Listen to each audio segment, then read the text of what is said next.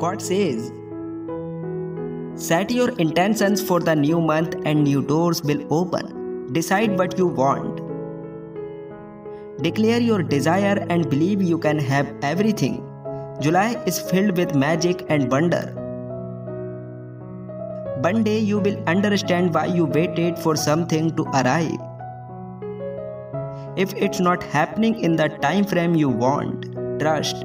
Don't overthink things and wait with excitement instead of fear. Everything grows over time. The universe is always one step ahead of your plans. Expect a rise in love. There are big changes on the horizon.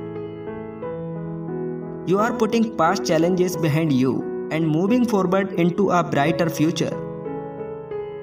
Everything will make sense soon, and you will find yourself in the right place with all the right people.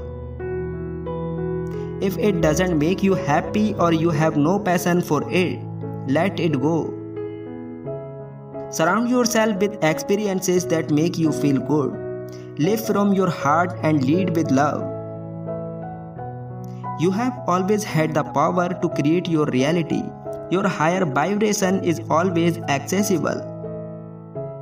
Type Amen if you believe in God.